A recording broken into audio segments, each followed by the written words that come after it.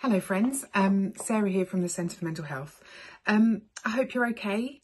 I think uh, every time I start one of these videos, uh, I think to myself, what can I say that feels appropriate during this time? And frankly, uh, yeah, it's not easy. Um, but I just wanted to do a little video to talk about our uh, second forecasting briefing that's coming out tomorrow. So as you know, during this time, we've been doing a variety of things behind the scenes, mostly trying to make sense of things, mostly trying to connect the dots and help uh, policymakers and providers of services really make sense of what they're doing. And of course, um, we have also had uh, the terrible murder of George Floyd. Um, and I think that for us at the centre, it certainly has made everything that we do around equality even the you know, even more kind of not significant it's always been significant but um, we all feel deeply deeply motivated motivated by it and um, spend a lot of our time thinking through how can we make sure that um, while we're advocating for equality that we don't in that mix lose sight of uh, the focus on racial justice. And I think we are making a renewed commitment to racial justice as we go forward. And uh, yes, please do keep in touch with us about what you think around around that. Um, so the forecast that we're publishing tomorrow is not going to release any big numbers, but what it's going to say is, look, um, you know, there's a lot of conversation out there around a tsunami of mental illness that's going to, um, you know, suddenly uh, kind of topple services as we go forward over the next year, 18 months, two years.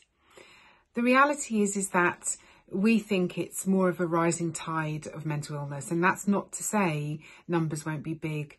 That's not to say that the impact isn't significant. What we're trying to say is that um, there is there is mental illness emerging within groups that hadn't been mentally ill before. There are high risk groups uh, that, you know, might not be able to access services in the usual way. We're saying that, you know, as we march into winter, um, we need to be prepared for what we feel like is a perfect storm.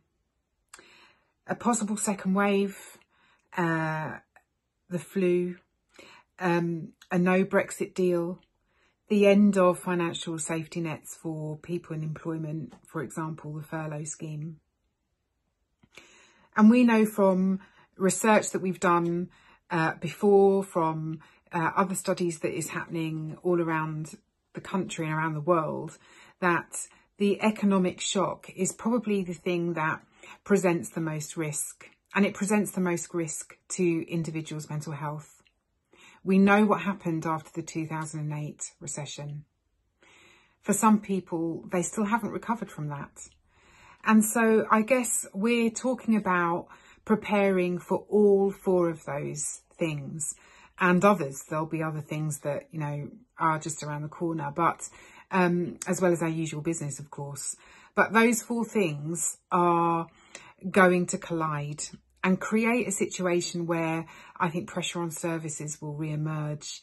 Uh, we will see um, families struggling to kind of hold it all together under the strain of, you know, employment worries or stresses about children returning to school.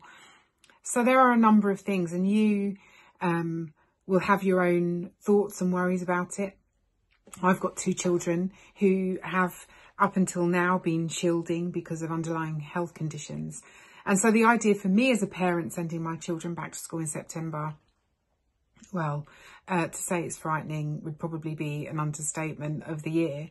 Um, but also know that we're all having to weigh up the decisions about living with the virus, um, living our lives, getting the economy on track.